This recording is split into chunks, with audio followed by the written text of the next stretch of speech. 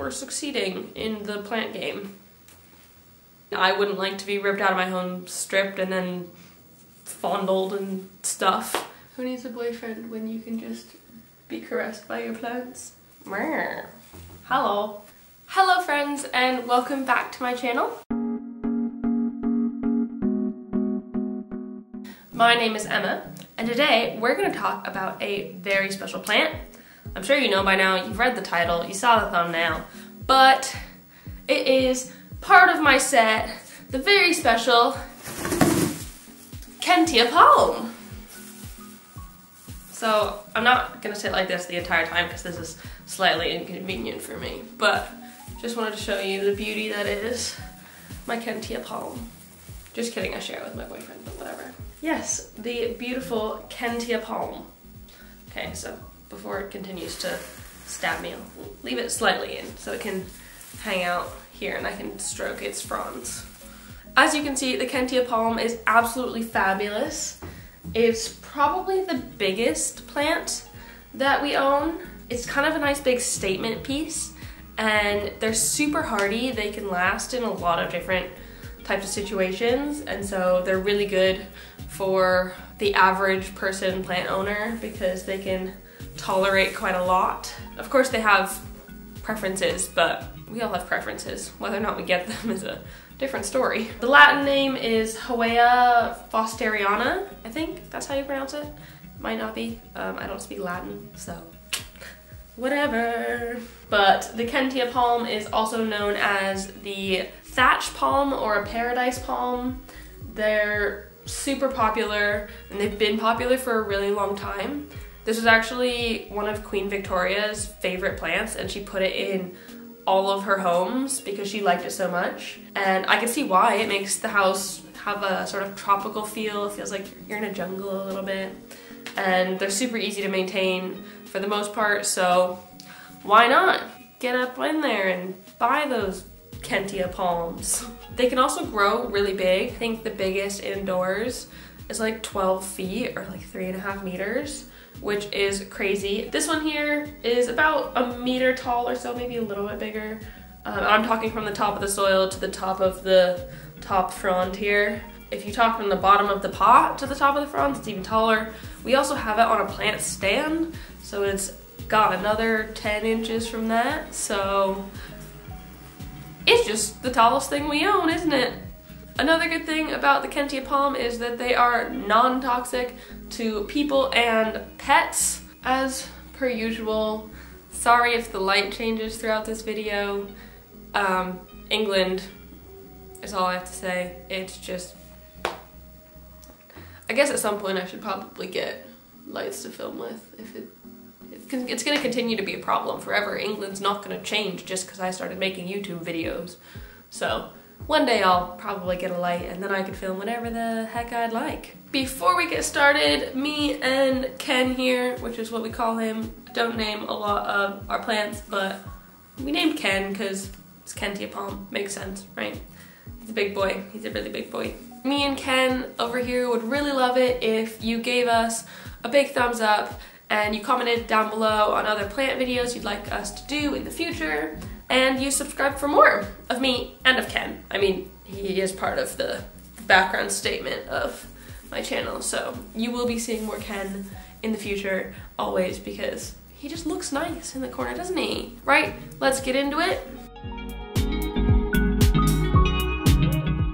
Once Kentia palms are established as plants, they've gotten a bit bigger, they're pretty drought tolerant actually. Of course, they don't want to be in desert conditions because they're originally from tropical places, so it doesn't want to be too dry, but they can last with a little bit of drought in their watering. They do prefer to be too dry than too wet, but still best to try and keep it pretty regular. The best suggestion is that you water when the top layer of soil is dry, so that's anywhere between one and three inches or two to seven centimeters or so of the soil is dry. That'll make sure that you're not watering too often, but you're still giving them enough water for them to survive and thrive. You can see if your Kentia palm needs some water if you stick your finger or a water meter down through just the top layer of the soil and see if it's dry. If it's dry, give them water. If it's not, don't. So I just water it when that top layer of soil is dry and that seems to work fine. Obviously more in the summer, less in the winter, because that's how evaporation works with heat, I think. I'm not a scientist, I don't know what I'm talking about. If you don't water enough, the tips of the leaves can get yellow and brown even and kind of get crispy and that's not really ideal. Obviously you want your plant to be as clean as possible and not brown. Yeah, so just give them slightly more water. You can trim the tips off if you don't want them to be brown in your house.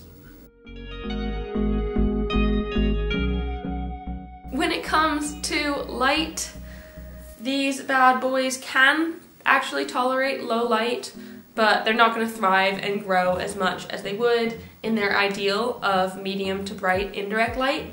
So that's probably what's best for them. They don't like direct sun either because it will actually burn them. So don't put them in direct sun because we don't want burnt plants. We keep ours next to a north facing window so it gets bright indirect light all day. The room is pretty bright. Um, it's actually this room that it's in, just in a different corner. I move it every time I film because I like how it looks and I think it makes things better. And I like to see it and feel it and you know, yeah. But actually lives in this room. You can also move them outdoors for summer because they do like it. They like the warmth, um, which we'll talk about in a second. If you do move them outside for summer, make sure that you're putting them in a nice shaded area because if they get the direct summer sun, it'll be too hot for them and they'll get sunburned and we don't want that. Comes to temperature, they can actually tolerate quite a lot. I read somewhere that they could tolerate anything between 25 and 100 degrees Fahrenheit or negative 4 to 38 degrees Celsius, which is a massive range. That's like below freezing to like a hot summer day in California. That's a lot of different places that it could live, might not thrive, but live. Its ideal is between 65 to 85 degrees Fahrenheit or 18 to 29 degrees Celsius. Like ideally it doesn't want to get too cold, so if you do bring it outside, in the summer, it's best to bring it back inside before the cold temperatures of winter kill it. So it, it, it's just just keep it keep it regular. Just if you're, if you're comfortable, it's comfortable. I'm sure it'll be fine. It was really cold over the winter here. I say that I'm from California, so really cold for me is like 50 degrees Fahrenheit or 12 Celsius or so. Um, that's really cold for me because I am a cold-blooded human and I need the sun to survive. Um, basically a plant. but inside the house even, um, the room it was in didn't have double glazed windows and they are a little bit drafty so it did get pretty cold. Uh, we were worried about it a little bit over the winter but came out fine. Doing, doing quite well. They do like some humidity. You don't have to give it humidity, but it does help. So for a while, this guy had brown tips on its leaves and I was really confused as to why it was doing that because we thought we were treating it as best as possible. And so I posted on Instagram being like, what the heck's going on? Some lovely, helpful plant people said it probably needs some humidity. So since then we've been misting him nearly daily, several times a week, and that seems to have helped. Also, as you can see, I've given him a haircut, so basically trimmed off the brown tips of each of the leaves because I don't like how they look. But that's totally fine. You can trim them. Try not to trim the green bits though because they are healthy, so just cut off where it gets brown and it should be fine. But since then, we've been misting it and it hasn't gotten worse. It's actually gotten better and the new fronds that have been growing in haven't had it. So that's good. We're succeeding in the plant game. Also, misting it does help remove the dust that gets on the leaves which is really good. If you don't want to mist your plants, you could also put it in a pebble tray, or if your bathroom is light enough, keep it in there all the time because it'll enjoy the humidity from your showers and stuff. But it's up to you. It should be fine. Just give it a little every once in a while and it'll survive. So potting and soil are some of the most important things when it comes to taking care of your Kentia palm. They can adapt to a wide range of soils as long as they're well draining. That's probably the most important thing about the soil is that it's well draining. Currently we have this guy in a mix of average potting soil and perlite to give it extra drainage. Normal potting soil is probably a bit too heavy and will hold too much water. It would probably lead to root rot. We were experiencing that and Ken being a bit sad for a while because we made a bit of a rookie mistake at the beginning. I didn't know how drainage worked when we got Ken and so after we got him we wanted to repot him into uh, his big decorative pot. Yeah, so this big decorative white pot. We wanted to put him in that pot because we wanted him to go in the plant stand and the big white pot doesn't have a drainage hole and so we smashed up a terracotta pot and put like big chunks of that at the bottom of the white planter and then put just plain old potting mix, not very well draining stuff on top of it. That provided some drainage, but also not really at the same time. We didn't know what we were doing. It was a rookie mistake, and it led to Ken being a bit sad for a while. He wasn't growing new leaves, and the ones in the middle of the pot were rotting because the soil was just too dense and it was holding way too much water. We didn't realize that for a while. We were really confused about what was going on.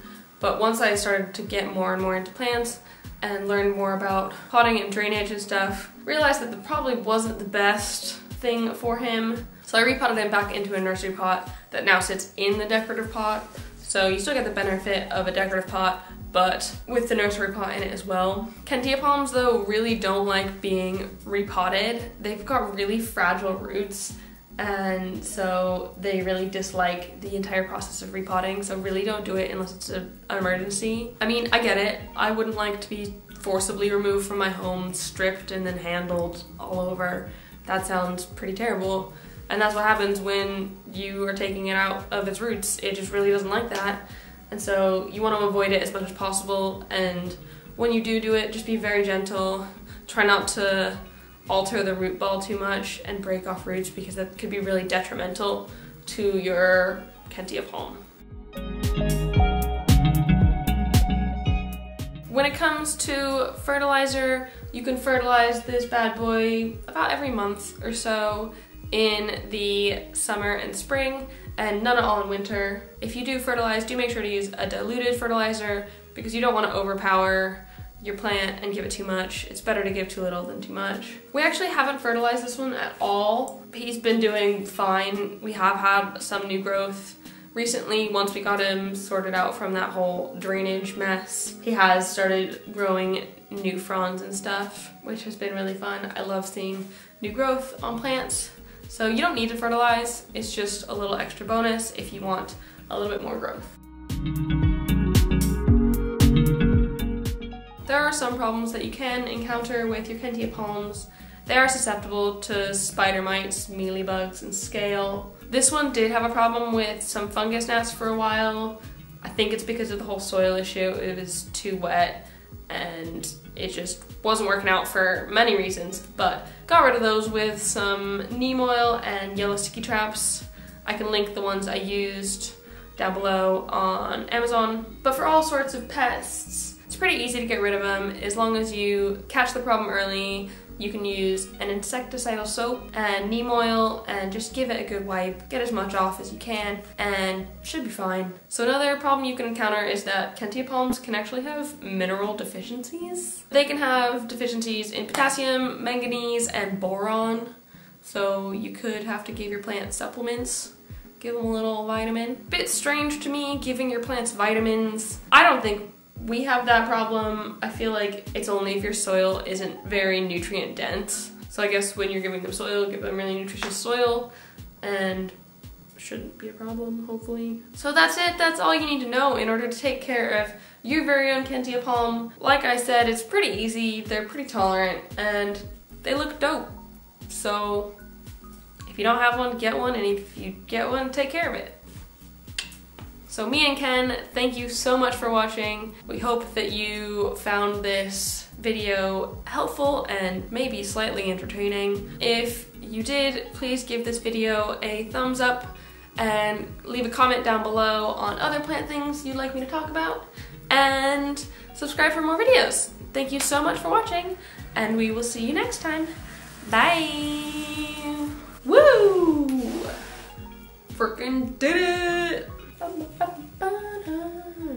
Like I'll just get used to, I'll be like, yeah, it's late now, gonna film, and then it'll, see? It just did. When I snap my fingers, it changed. Because I am magical.